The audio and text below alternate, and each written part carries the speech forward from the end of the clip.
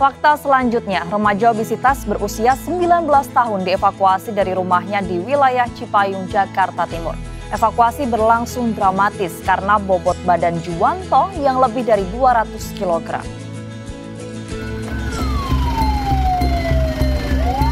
Petugas pemadam kebakaran dan BPBD dikerahkan ke rumah Juwanto, remaja obesitas di Cipayung, Jakarta Timur.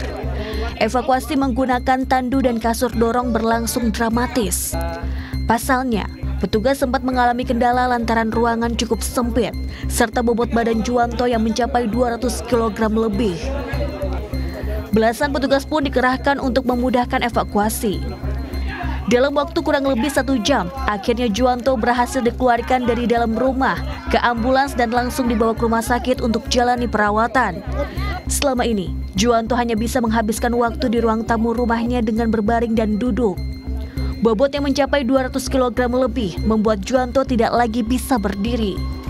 Ya, Alhamdulillah uh, tadi uh, sudah berlangsung dengan baik dan uh, karena ada sedikit masalah di lengannya karena yang bisa dipegang. Iya. Tapi ketika ditanya nyaman ada masalah yang Uh-huh. disampaikan.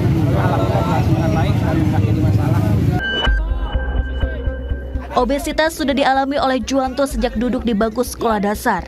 Berjalannya waktu berat badan Juwanto naik drastis saat menginjak usia 17 tahun.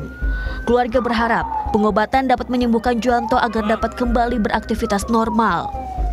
Noventri Aryo Putra melaporkan untuk NET.